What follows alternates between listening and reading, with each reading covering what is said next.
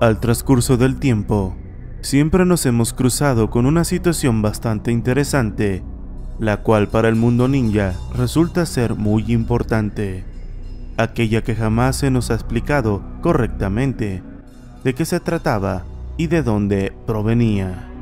Bienvenidos a este nuevo video llamado El origen del elemento madera. 仕方ない先方木遁神数戦術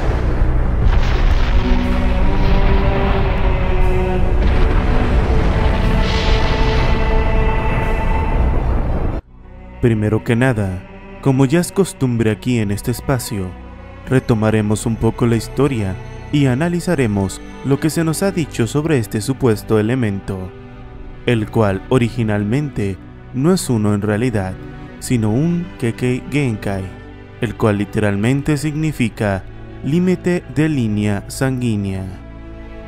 Como acabo de mencionar, el elemento madera es erróneamente llamado así, ya que los únicos elementos reales son Katón, fuego, Dotón, tierra, Suiton, agua, Raiton, rayo, Futon, viento, y los elementos de energía espiritual, Yin y Yang. Todos los demás fuera de esta lista son uniones creadas con base a dos de estos mencionados. Ejemplo, para crear el elemento madera, se necesita Suiton y Doton, los cuales en su lógica se entiende que si le pones agua a la tierra, la naturaleza crecerá. De esta misma manera, se crean otros como el Jouton, el elemento lava, el cual es la unión de Catón y Dotón, que son fuego y tierra. Pero el tener estos elementos no te garantiza que podrás obtener el poder mencionado, ya que han existido ninjas que incluso han tenido todos los elementos, pero que jamás han podido unirlos. Cabe mencionar que en la humanidad ninja, el que pueda crear un enlace de límite de línea sanguínea es considerado como genio, ya que originalmente los humanos solo pueden ser afines a un solo elemento, y el que controlaba dos o tres era considerado de la élite.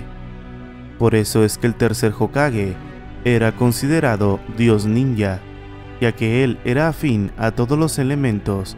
De esta misma manera, Orochimaru también lo era, además de Kakashi, el sexto Hokage, y ahora Naruto por tener el chakra de todas las bestias. Sin embargo, existen ninjas con dos o tres elementos, como es el caso de Hinata, Sasuke con seis, Boruto con tres y su maestro Konohamaru. Ahora que ya hemos comprendido esto, sabrás por qué siempre que se quiere manipular el elemento madera, se tienen que implantar células de Hashirama, ya que él ha sido el único ser humano que originalmente lo ha desarrollado, necesitando su material genético para fusionarlo con las células del cuerpo que lo va a recibir. Pero como la mayoría de personas no tienen la capacidad física y espiritual para lograrlo, son devoradas por estas células de Hashirama. Por lo tanto, solo hay unos cuantos los cuales han logrado sobrevivir a los implantes, quedando claro que no son más que copias o derivaciones del original, el cual es Hashirama Senju. Madara, para poder obtener este poder y más, mordió a Hashirama, arrancándole una parte de su cuerpo, para después implantarla en el suyo y poder controlar su poder, siendo este el primero en lograrlo. Después de él vino Obito Uchiha y Yamato. Pero seguramente te preguntarás, ¿por qué es tan importante este poder? Ya que todo el mundo quiere tener control sobre él, pues es porque es el poder definitivo, que el que lo posea podrá controlar el mundo, ya que este poder es capaz de domar las bestias con cola y absorber cualquier fuerza. Ahora por fin hemos llegado al clímax de este video, donde conocerás el origen posible de este poder, tras la explicación de lo que es, para qué sirve y por qué es tan importante. Hace más de 8000 años, cayó del cielo un cometa el cual venía con una semilla especial, la cual próximamente cambiaría el destino del mundo, convirtiéndose en un gran árbol, el cual se observaba desde lejos por todo el mundo, ya que se decía que si te acercabas a él, tu muerte estaba asegurada. Este árbol fue conocido como el dios de los árboles, o más bien llamado Dios Árbol, el cual mientras crecía, todo a su alrededor crecía hermoso también, dando frutos y vida por doquier. Pero lo que las personas realmente no sabían era que este árbol estaba consumiendo la energía vital del mundo, para unos cuantos años después dejarlo seco y muerto, ya que estos árboles existen más por el universo y vulgarmente serían llamados los devoramundos. Próximamente, después de absorber todo el poder de este mundo que habitaba, lanzaba un fruto divino, el cual se convertiría próximamente en la semilla que viajaría por el universo para encontrar otro planeta idóneo el cual poseer. Si tú te acercabas a una de sus ramas, tu energía vital era consumida y morías en un instante, quedando seco totalmente. Pero si tú vivías cerca de él y eras víctima de su influencia, tú eras feliz y no notabas nada raro, ya que eras domado por el poder de este árbol creando un falso mundo de prosperidad mientras él devoraba el tuyo. Seguramente te preguntarás, ¿y esto qué tiene que ver con el elemento madera? Pues te diré que sencillamente tiene que ver en todo, ya que cuando Kaguya comió su fruto, se volvió un solo ser con este árbol, modificando su estructura de su ADN, dando pie a nuevas mutaciones.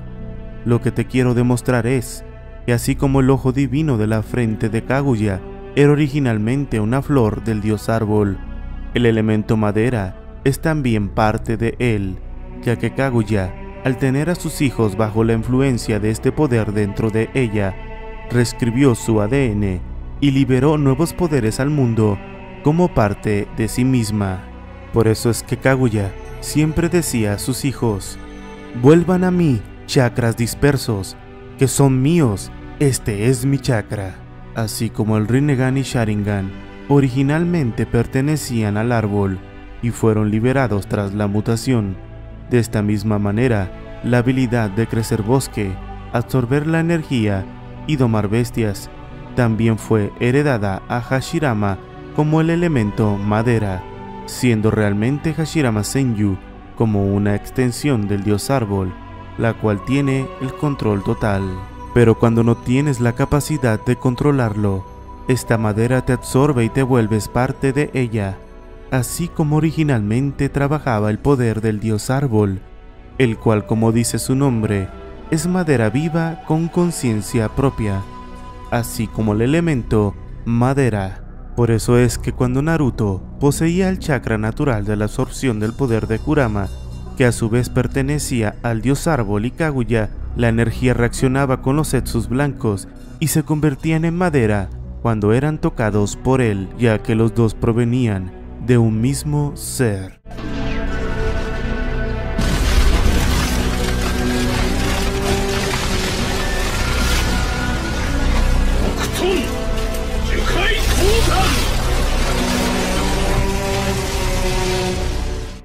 Si te gustó el video, por favor considera dejar tu like, suscríbete y sobre todo activa la campanita, ya que sin ella jamás te llegará un video mío.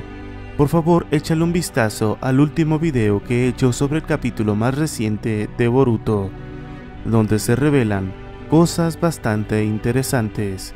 Te estará apareciendo al final de este video. Yo he sido tu amigo de Har Hero. Namaste, Dios te bendiga.